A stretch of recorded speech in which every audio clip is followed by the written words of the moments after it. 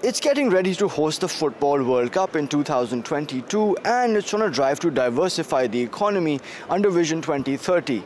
Qatar has a lot going on and it needs some heavy wheels to keep the growth going. So Turkish auto companies like this are hoping to make further inroads into the market here at the Turkey Expo by Qatar 2018. The demand is, is growing actually now in Qatar. The vacuum tankers and uh, the combined jetting units, along with the firefighting vehicles, garbage compactors, road sweepers, and also as well as the defense industry.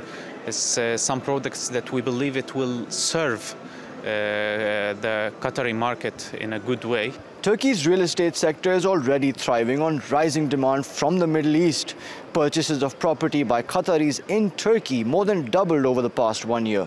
But the focus is now expanding to other sectors like food, furniture and healthcare in terms of the uh, portfolio of the uh, potential patients and in terms of the, uh, let's say, interest, good connections between Turkey as a country and this, this Qatar. Now, bilateral trade has already grown to almost a billion dollars between the two countries, and their governments are hoping events like these will help push it further.